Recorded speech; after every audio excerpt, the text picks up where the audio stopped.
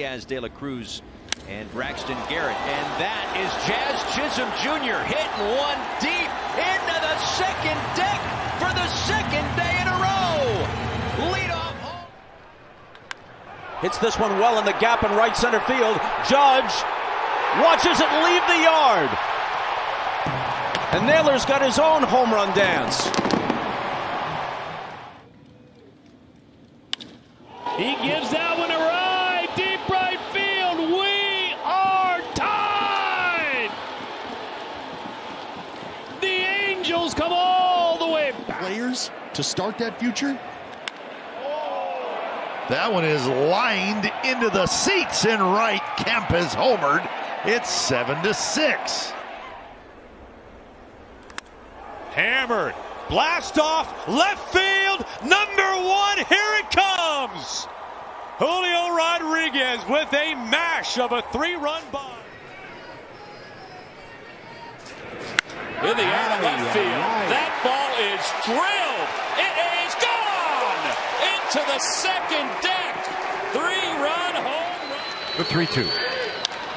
That ball hit well, high in the air, out to left field. It's carrying well. Mazara looks up, and it is gone.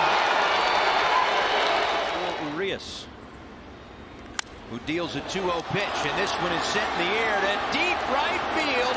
Jazz into the upper deck. The 0 1. Swing hammered on its way out to left field. Julio going deep. A three hit night for young Julio Rodriguez. And Jazz gets into one and hits it a ton. Upper deck right center field. Jazz Chisholm Jr. gives the Marlins the lead. And a high fly ball. He did it for the third straight night. Towering home run. It's the longest one of the series for Rhys Hoskins.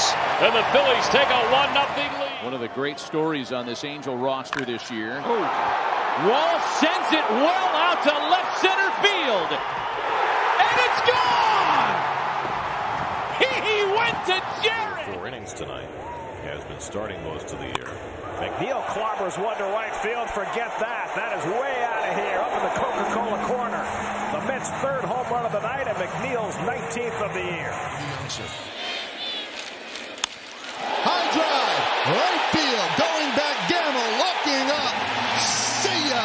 A grand slam for Cabrera. 4 nothing Yankees. Feel it coming off your bat. There's a